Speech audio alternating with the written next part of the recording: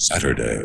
Barbara Eden returns home to a small It was as if I were a stranger, as if I had no business being here at all. only to find that things aren't the same. He left his Bible and his gun. He always took them with him everywhere. I don't understand it. I, I don't understand any of this. Larry Hagman. Town, it, it's not at all like I remembered it.